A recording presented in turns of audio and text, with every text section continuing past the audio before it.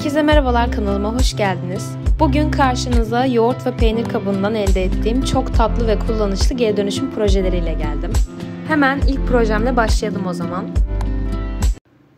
Malzeme olarak gördüğünüz gibi önceki projelerden artan makrome ipimi kullandım. Onun yanında boş bir yoğurt kovam var, ahşap çubuklarım ve rattan iplerim var. Öncelikle yoğurt kabımın üst tarafını kesip düz bir hale getirdim. Makrome ipini silikon yardımıyla üzerine yapıştırdım. Siz makrome ipi yerine hasır ip de kullanabilirsiniz. Eğer makrome ipini kullanacaksanız sıkarak yapıştırmanız lazım. Çünkü kendini salan bir ip çeşidi olduğu için aralarda boşluk kalabilir.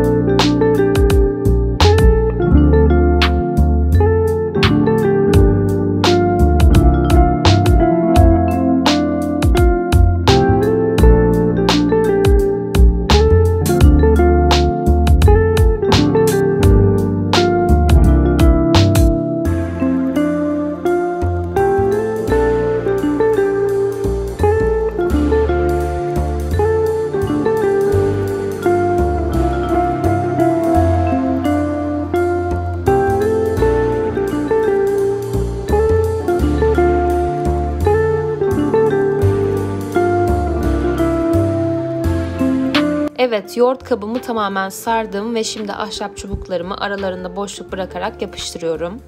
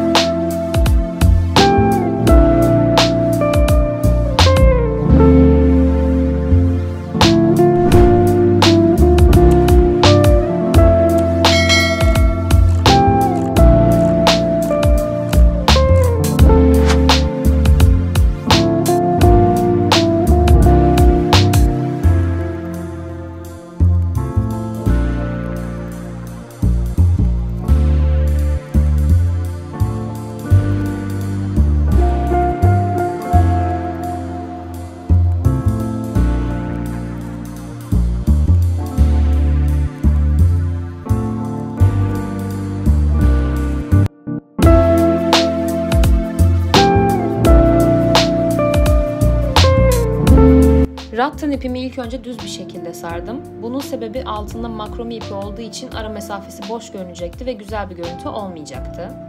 Ben 3 ya da 4 kat bu şekilde sardım. Sonrasında şekil vermeye başladım. Bu sayede alt tarafı kapanmış oldu. Ben ilk başta biraz çubuk mesafesini geniş bıraktım. Az önce görmüştünüz bir cetvel genişliğinde yapıştırmıştım çubukları.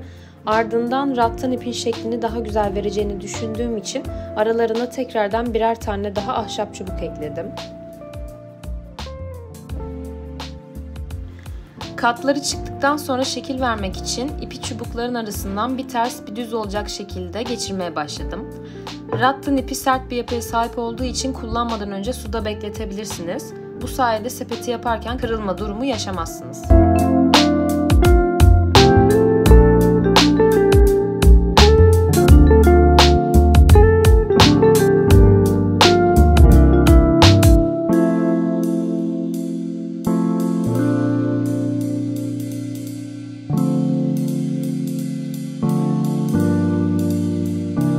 Olarak süsleme yapıyorum. İpleri 10'ar santim genişliğinde kestim. Sepetin üstünde boşluklar olduğu için ipleri içine sıkıştırarak tutturdum.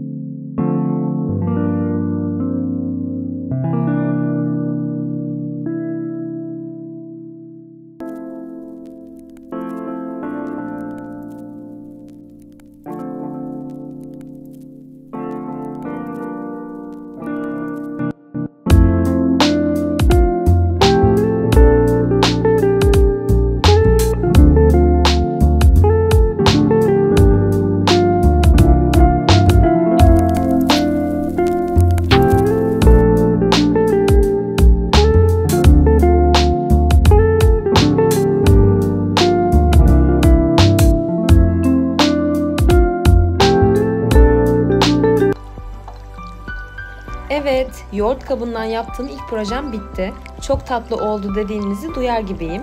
Yorumlarınızı merakla bekliyorum. Şimdi sizi meraklandırmadan diğer projeme geçiyorum.